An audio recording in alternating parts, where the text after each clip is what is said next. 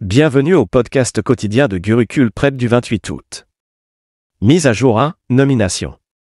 NASCOM nomme Sindhu Gangadaran comme nouvelle présidente.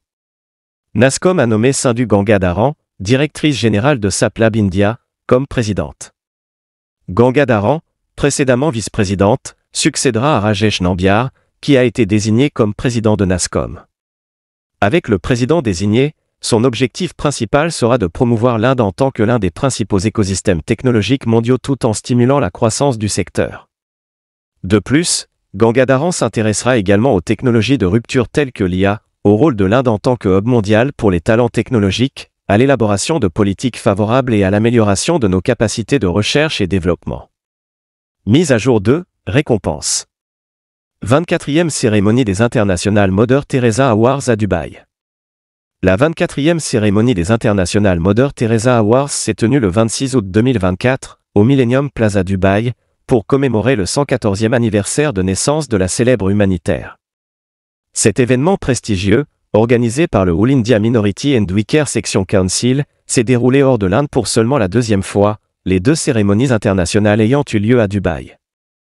Cette année, la cérémonie a réuni divers lauréats de différents pays et secteurs. Parmi les récipiendaires notables figuraient le défunt Joao Bernardo Vieira II de Guinée-Bissau, Siddharth Srivastava et Nami Bajoria du secteur industriel, et Mohamed Matabur Rahman, président de la NRB Bank Limited. Mise à jour 3, Défense. Première visite de l'INS Mimbe à Colombo. Le navire de guerre indien INS Mimbe est arrivé au port de Colombo pour une visite inaugurale de trois jours au Sri Lanka le 26 août 2024, a annoncé la Haute Commission de l'Inde. L'INS Mimbe, navire de première ligne de la marine indienne, a été accueilli cérémonieusement par la marine sri-lankaise. L'INS Mimbe, le troisième des destroyers de la classe Delhi, apportera des pièces de rechange essentielles pour les avions de patrouille maritime d'ornier exploités par la force aérienne sri-lankaise, SLAF, dont les pilotes et navigateurs de vol sont formés par la marine indienne. La marine indienne soutient également la maintenance des avions avec une équipe technique et des pièces détachées. Mise à jour 4, internationale l'Inde et l'Indonésie résolus à renforcer la coopération antiterroriste. L'Inde et l'Indonésie ont critiqué l'utilisation de proxys terroristes dans le cadre du terrorisme transfrontalier, dans un contexte de soutien du Pakistan aux groupes terroristes opérant au Jammu et Cachemire. La question du terrorisme transfrontalier a été abordée lors de la sixième réunion du groupe de travail conjoint Inde-Indonésie sur la lutte contre le terrorisme, qui s'est tenue à Jakarta. Les deux parties se sont concentrées sur la lutte efficace contre le terrorisme, y compris sur la manière d'empêcher les terroristes d'utiliser les technologies nouvelles et émergentes, selon le ministère des Affaires étrangères, MEA. Mise à jour 5, nationale. L'Inde accueille son premier touriste spatial civil Gopishant Otakura.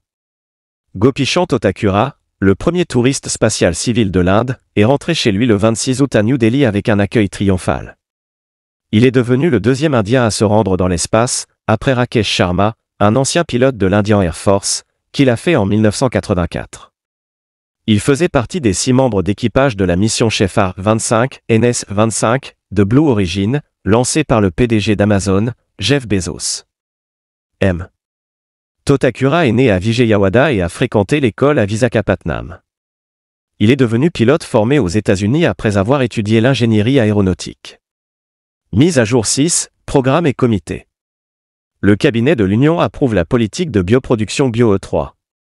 Le cabinet de l'Union, dirigé par le Premier ministre Narendra Modi, a adopté la stratégie BioE3, biotechnologie pour l'économie, l'environnement et l'emploi, pour promouvoir la bioproduction de haute performance.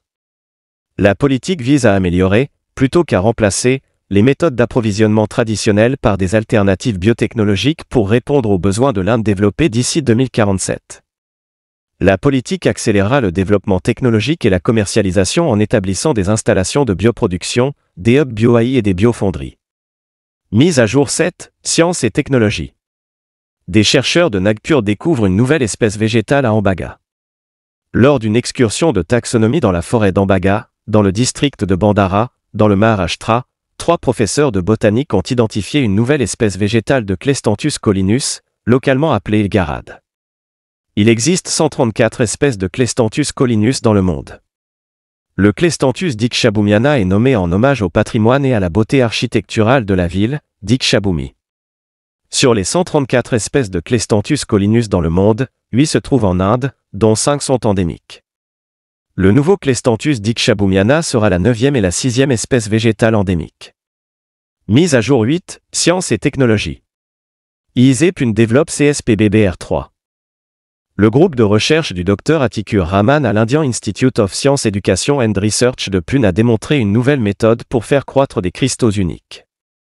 Les chercheurs et leurs partenaires ont annoncé une nouvelle méthode pour faire croître des cristaux uniques appelés nanoplaquettes de CSPBBR3. Les découvertes du Dr Atikur Rahman, publiées dans Advanced Material, suggèrent que ces caractéristiques cristallines en font des candidats prometteurs pour des applications dans les photodétecteurs et les dispositifs électroniques. Ces cristaux sont stables à haute température, ce qui les rend durables et fiables, ont déclaré les scientifiques. Mise à jour 9, Sport. L'Inde brille aux championnats asiatiques de surf 2024, un jalon pour le surf indien. L'Inde a remporté une médaille d'argent lors de la Maruaba Cup, une épreuve par équipe organisée lors des championnats asiatiques de surf 2024 à Toulouse-Dou, aux Maldives. En finale, le Japon a remporté la médaille d'or de manière significative, marquant 58,40 contre l'Inde. Taipei chinois, 23,93, et la Chine, 22,10, ont terminé respectivement 3e et 4e.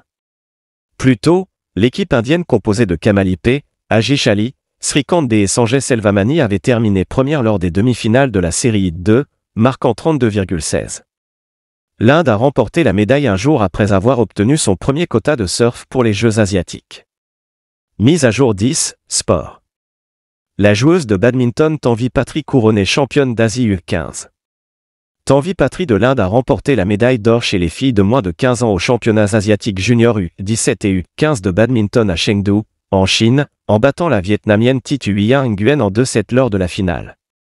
La jeune Patri, âgée de 13 ans et classée numéro 1, a terminé le match en 34 minutes, battant son adversaire tête de série numéro 2 22 à 20, 21 à 11.